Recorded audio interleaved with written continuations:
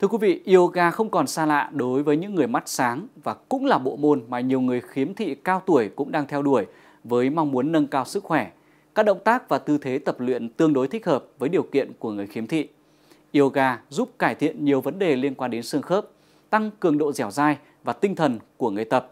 Và các buổi tập của câu lạc bộ yoga miễn phí của Hội Người mù quận Thanh Xuân, thành phố Hà Nội đang mang lại nhiều ý nghĩa cho những người khiếm thị.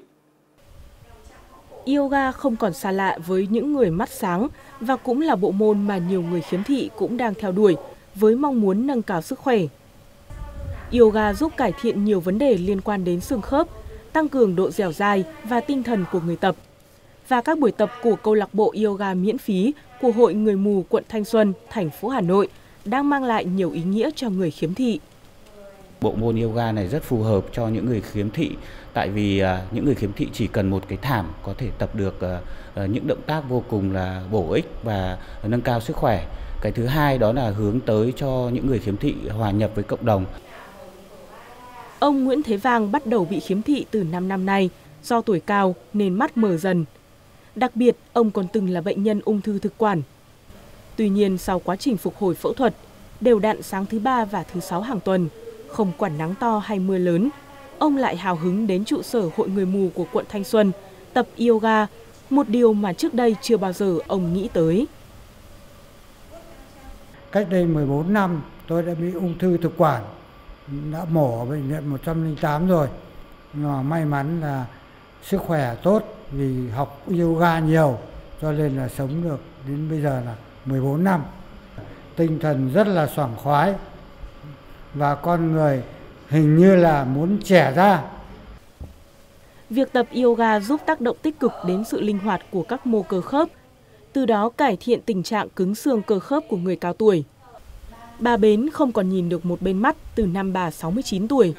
Bà đã trải qua phẫu thuật, nhưng đôi mắt của bà mờ dần và cũng không còn nhìn được rõ. Dù vậy, bà vẫn kiên trì tập luyện với câu lạc bộ.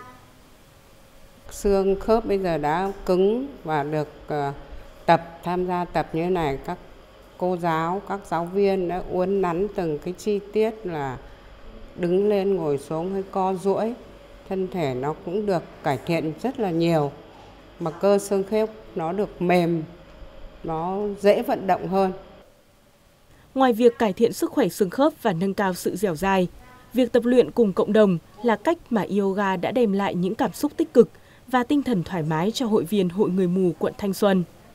Không khí tập của chúng tôi rất được thoải mái và vui tươi khiến cho bỏ qua được những cái mệt mỏi khi khi tập thì mà khi cuối buổi thì để lại cho chúng tôi có một cái tinh thần rất là thoải mái. Ngày nào đi đến đây đã dạy cũng rất là nhiều năng lượng luôn. Tôi rất thích cái câu nói là yêu thương cho đi là nhận lại.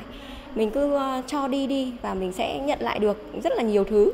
Và thứ mà tôi nhận được lại ở đây là là cái sự lạc quan sống, là cái ờ, tinh thần À, tôi thường gọi mọi người ở lớp học này là những chiến binh của tôi.